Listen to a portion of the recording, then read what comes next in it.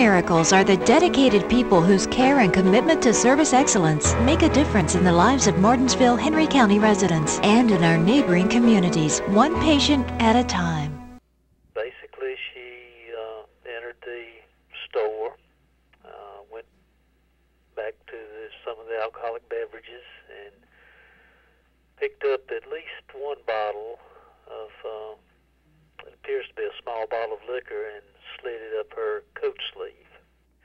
And then she walked out of the store with it without paying. With this and other incidents we've had recently, how has um, social media helped bring these criminals to justice?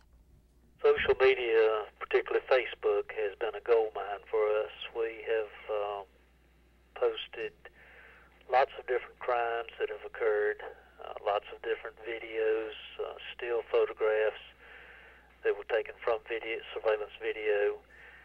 Uh, we also posted another one this week, uh, very similar situation, a shoplifting incident in another business here in town. And every time that we post anything like this, uh, BTW21 has most graciously picked it up and shared it. Uh, some of the other uh, local media has shared it as well.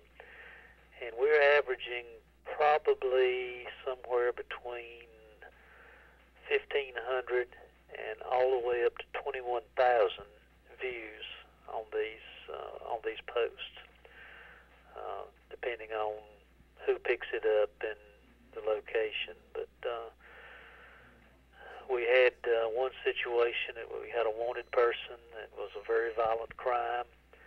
That's the one we got to 21,000 views on. Within about 30 minutes, we had a location of where this person was located, uh, was at, and he was apprehended. We've also had uh, some shoplifters that have been identified. One in particular at a local business here in town. We got about 5,000 views off of that within 20 minutes